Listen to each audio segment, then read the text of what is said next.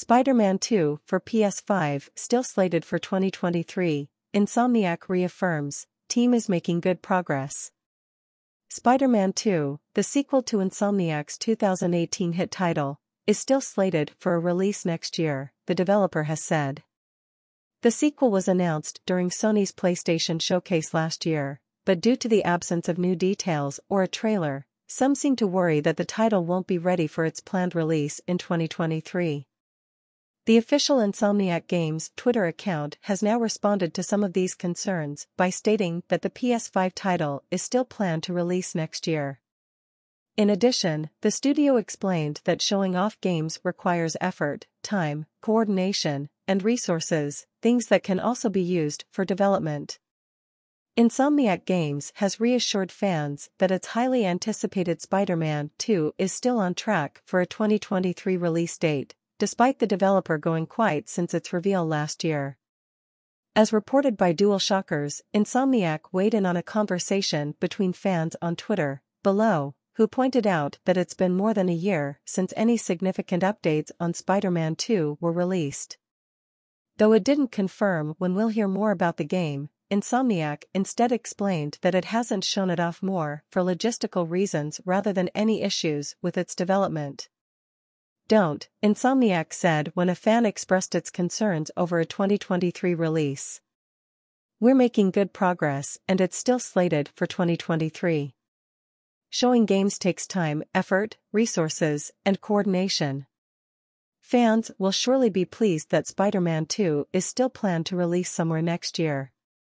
Spider-Man 2 was officially announced back in September of last year alongside Marvel's Wolverine, also by Insomniac. As confirmed by Insomniac, the CGI quality teaser that Insomniac showed off was running in real time on PlayStation 5. The sequel will feature both Peter Parker and Miles Morales facing the ever-popular Venom. As revealed by Marvel Games Vice President Bill Rosemann, the game will be darker in tone, comparing the sequel to the sequel to the original Star Wars The Empire Strikes Back. The fans' worry may have been a little justified, Sony has a track record for pushing back its exclusives, but the most recent example of God of War, Ragnarok may settle those concerns. Many people also expected it to be delayed, similarly forcing Sony Santa Monica to reassure fans that it was on schedule, and the game has now gone gold ahead of its launch on November 9. Spider-Man 2 was announced by Sony as a PlayStation 5 exclusive in September 2021, promising a continuation of Peter Parker and Miles Morales' story as they face a new, but familiar, foe in Venom.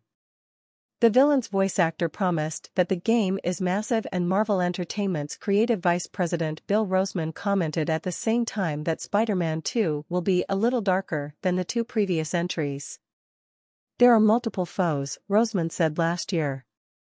I can say the story very much continues and picks up from Marvel's Spider-Man and Spider-Man, Miles Morales. It's the next big chapter.